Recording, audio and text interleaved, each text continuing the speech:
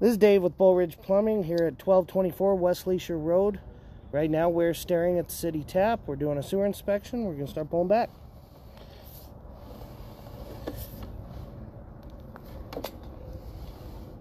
So as you can see, right now we were in PVC. Um, we transition into clay right here. See you later. All right, brother. Thank you much. Appreciate it. Yeah. Just letting water recycle.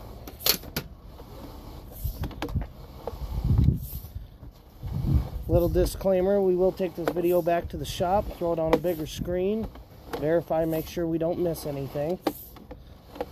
So far, this clay looks in pretty good condition.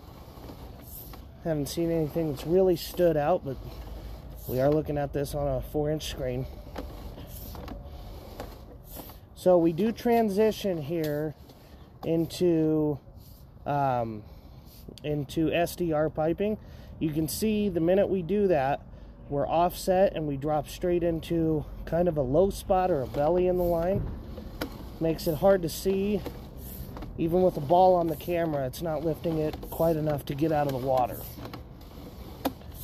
So we're not going to be able to tell the condition of the line right here.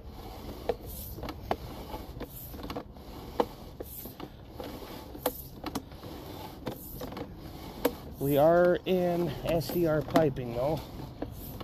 Alright, now we're gonna, you can see we're starting to come back up to clean out right now.